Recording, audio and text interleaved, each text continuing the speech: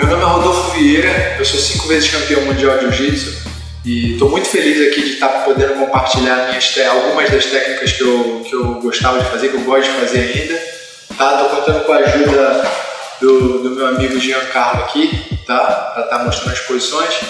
E é isso, pessoal. Espero que vocês gostem e espero que eu possa estar ajudando vocês aí, pelo menos um pouquinho. Valeu?